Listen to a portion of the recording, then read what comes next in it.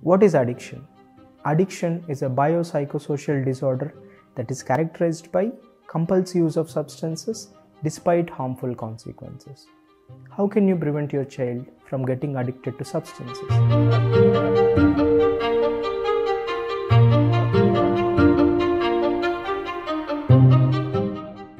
The first step towards preventing your child from experimenting the substances begins at home. Have an open dialogue. Quench your child's curiosity by talking to them about different substances, their effects, and subsequent risks. Lead by example.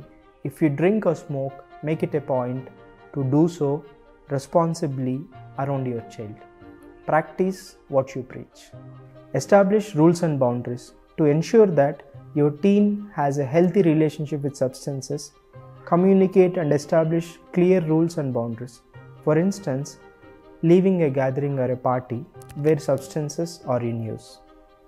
Warn about peer pressure. It is crucial that your child understands what peer pressure is. They should know how to conduct themselves under direct or indirect pressure without being influenced or swayed by their peers. Be mindful of the stressors.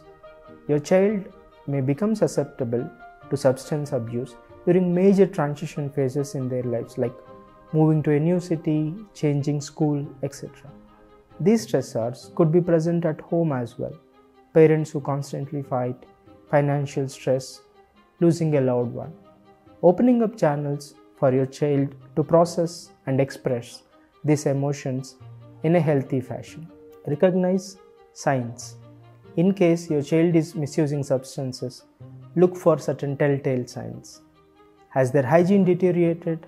Do you notice sudden change in their friend circle, change in their eating habits or sleeping patterns, or is there any, anything unusual in their breath or clothing? How can you support your child through their battle with addiction?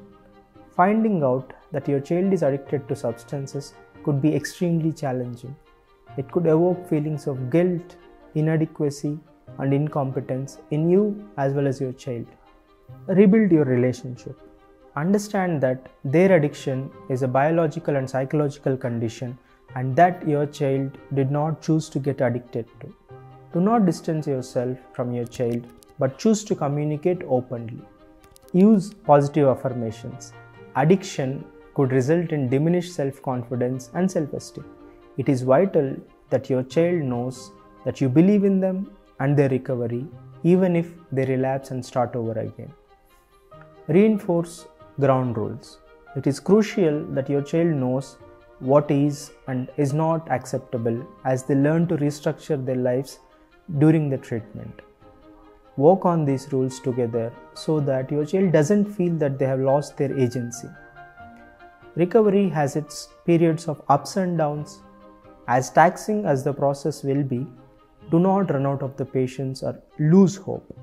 Your faith in your child could help them rebuild their own self worth, increase their likelihood of being in long term recovery and abstinent.